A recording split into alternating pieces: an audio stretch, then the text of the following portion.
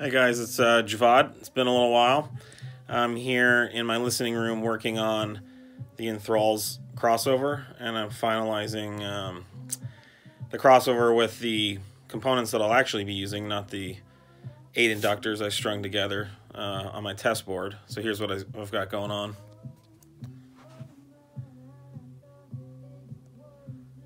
Seems like a disaster, but trust me, I know where uh, every one of those wires are supposed to go. So, anyways, this is an interesting phenomenon. I don't know if some of you have seen it, but um, it's very interesting, and it does show you the importance of inductor uh, orientation. And uh, so, I don't know if you can hear this music playing.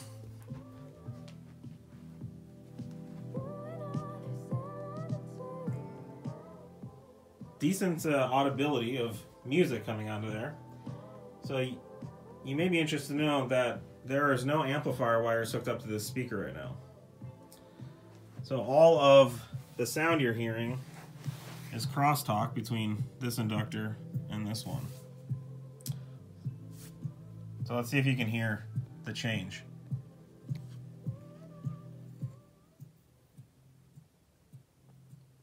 can still hear it a little bit, and I can actually feel this coil pulsing as it magnetizes.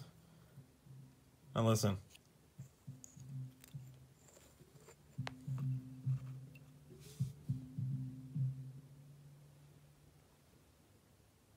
You may want to put some headphones on to really hear this. Here, I'll turn up the amplifier volume.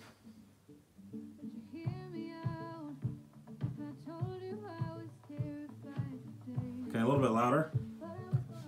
Now look at these inductors.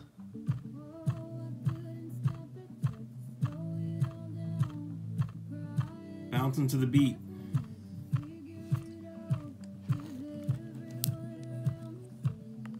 Watch out for sparks.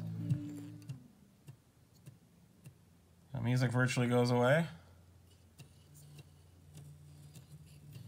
But these inductors are really interacting with each other.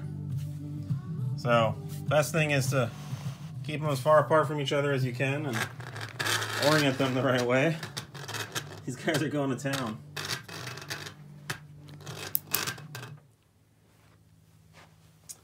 All right.